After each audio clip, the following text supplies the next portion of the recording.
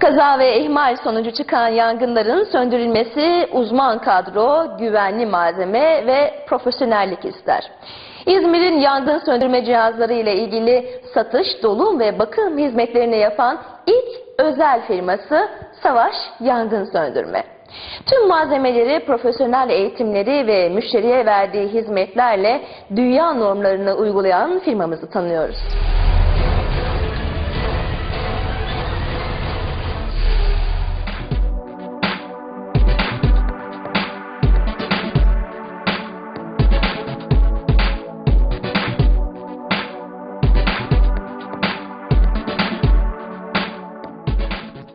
İzmir Bornova Işıkkent'te hizmet veren Savaş Yangın Söndürme Araçları Sanayi Ticaret Limited şirketindeyiz. Yanımızda firmanın kurucularından Muzaffer Bey var. Merhabalar Muzaffer Bey. Öncelikle sizi tanıyabilir miyiz? Efendim ben 1947 İstanbul doğumluyum. Ee, ilk orta lise tahsilimi İstanbul'da yaptım. Daha sonra üniversiteye gittim. Fakat e, babamın yanında devamlı çalıştığım için yangın sektöründe e, babamın vefatı dolayısıyla e, üniversite bırakmak zorunda kaldım. Ondan sonra babamın işlerini devraldım. Askere kadar o işlere devam ettim. 1969'da askerden geldikten sonra e, firmamın başına geçtim. Daha sonra İstanbul'da uzun yıllar bu sektörde çalıştım. Ondan sonra bir vesile İzmir'e bir çalışmamız vardı. Bir vesile İzmir'den davet aldım ve İzmir'e geldim. İzmir'de bu yangın sektörünün çok bilinçli olduğunu ve boş olduğunu gördüm. Burada ben insanlar için ne yapabilirim dedim. Ve burada firmamı tekrar burada ayrı bir firma kurdum. İzmir'de çalışmaya başladım. Ve aşağı yukarı e, 35 yıldır da İzmir'de ve Ege bölgesinde e, bu yangın sektöründe e, çalışmaktayım. Savaş Yangın Söndürme'nin kurulduğu günden bugüne gelen hikayesini bizlere anlatır mısınız? Yangın sektörüne nasıl girdik? Önce onu söyleyeyim. Ben 5 yaşındayken İstanbul'da bizim 3 katlı bir köşkümüz varmış. E, elektrik kontağından yangın çıkmasından dolayı evimiz kül olmuş gitmiş. Rahmetli babam da o tarihlerde inşaat müteahhidiymiş. Aynı zamanda sadece ev değil, evi yanında bulunan kamyonlar da yanmış. İtfaiyenin yetersiz olduğu için, itfaiye geç geldiği için, bina da ahşap olduğu için çok çabuk, hızlı yanmış.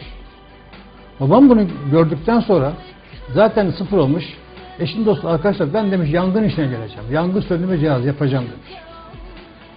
Ve babam yangın söndürme işinin Türkiye'de ilklerinden birisidir.